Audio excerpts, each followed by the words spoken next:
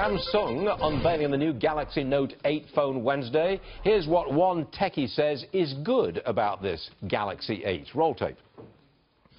Based on rumors, right, Yes. because it's not out yet, Right. I would say that the iPhone 8 might outdo Samsung in terms of innovation because of what I'm hearing in terms of augmented reality. Okay, so it's better because of augmented reality. I- We got that.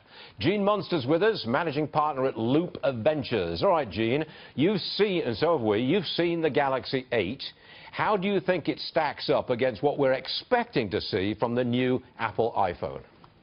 It's apples and oranges, and I think that tape you just had hit it right on, is that it's all about augmented reality for the next iPhone. And for the Samsung people, it's all going to be about a bigger screen and back, uh, uh, hold on to your seats here, back to a stylus, a pen. They're really pushing that hard.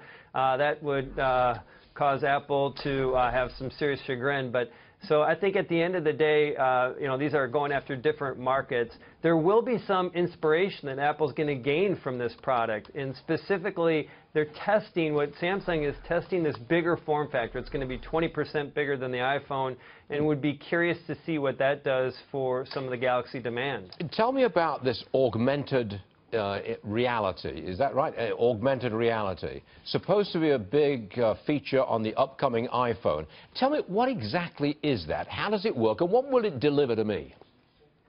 So it's going to superimpose the digital world on top of the real world. So you could use it everything for remembering someone's name.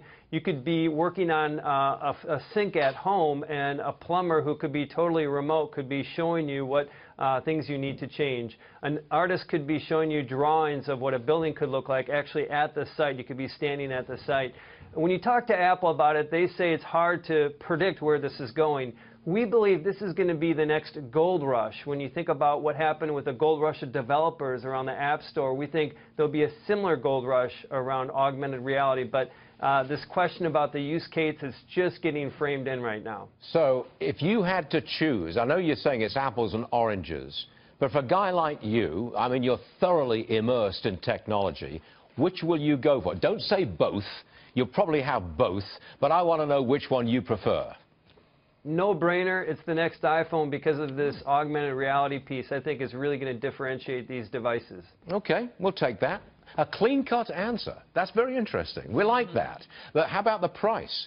I am told that the Galaxy 8 is going to be 900 and change, and the iPhone close to a thousand bucks. Is that accurate?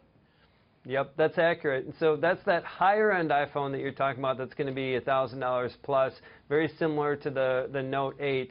Um, and the reality is, is that only about 30% of the market's going to be willing to pay for this. But for that 30% who wants the latest and greatest, an extra couple hundred dollars for two years Sure.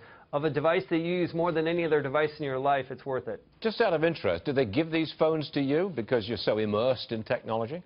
I wish they would. We have to stand in line just like everybody else, but we're, we definitely are, are the first uh, to be standing in line. Okay, uh, real fast on Tesla. They're taking on Uber with something called the Tesla Fleet. This allows an owner's vehicle to be rented when they're not using that vehicle. Maybe they're at work.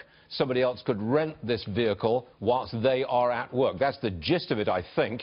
Is this a big deal for Tesla? Autonomy is a huge deal uh, for uh, Tesla, and I think this, this fleet approach, it's going to have some marginal adoption because I think a lot of Tesla owners, even regular people, don't want their car kind of turned over to the fleet during the day. So I think what is more important is really what's going to happen just around autonomy and the impact on ride sharing. All right, Gene, look, thanks very much indeed. You make uh, technology understandable to the rest of us, and for that we're deeply grateful. Thank you, Gene. Thank you, Stuart. So-